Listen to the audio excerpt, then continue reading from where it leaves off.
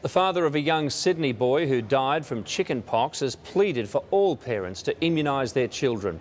His warning comes with the launch of a new website which alerts families to the risks of failing to protect their children. Seven-year-old Michael Kokugai was a happy, healthy boy bursting with energy. But in October last year, he caught chickenpox.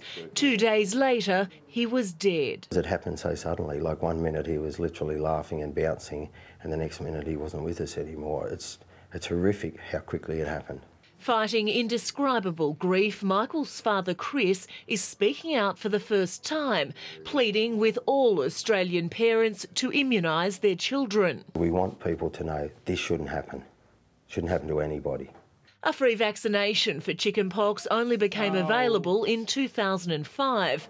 And now Professor Robert Booy from Westmead Children's Hospital has set up a website designed to help parents separate fact from fiction. Chickenpox can be deadly, measles can be deadly, meningococcal disease, whooping cough, all of these things we can prevent. And by vaccinating, uh, children and also some adults, we can provide uh, community and family protection. Parents can find out the full facts at www.chainofprotection.org. If that can make the public aware so no one else goes through what we're going through.